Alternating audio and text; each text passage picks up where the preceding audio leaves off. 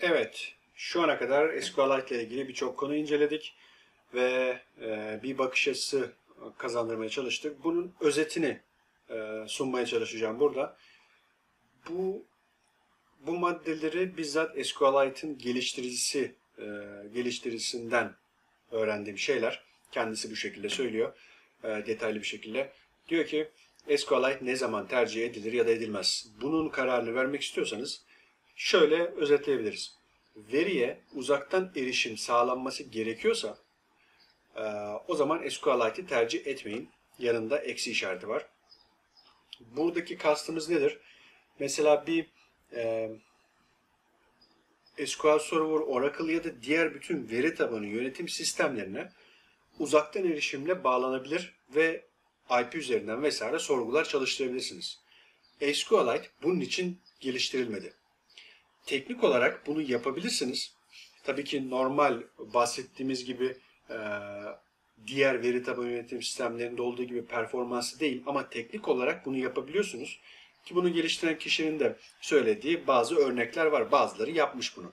Mesela IP üzerinden bir işte Windows ağındasınız diyelim. işletim sistemi ne olursa olsun.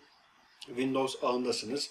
Bir IP'yi dışarıya açtınız ve işte o IP, IP üzerinden bu veri tabanı dosyasının olduğu dizine erişerek oraya kendi geliştirdiğiniz yazılımla erişip işlem yapabilirsiniz ama bu ciddi anlamda e, kulağınızı tersten tutmak. Yani eğer ciddi anlamda böyle bir işiniz varsa ücretsiz veri tabanı yönetim sistemleri var. Onları kullanın. Onlar bunu çok daha iyi yapar. E, bunun amacı o değil. SQLite'in amacı bu değil. Big Data amacıyla oluşturulan büyük çaplı veri işlemlerinde gene kullanmamalısınız. Burada tercih etmemelisiniz SQLite'ı. E, çünkü burada çok ucu bucağı belli olmayan e, büyüklükte ve genişlikte veri yapıları var. E, bunları SQLite ile yönetmeniz hiç kolay olmayacaktır. Burada doğru tercih değil. E, çok sayıda, çok fazla sayıda eş zamanlı yazıcı varsa bunu SQLite limitleri videosunda kısaca özetledim. Eş zamanlı yazıcı nedir? Dirty data hatırlayın.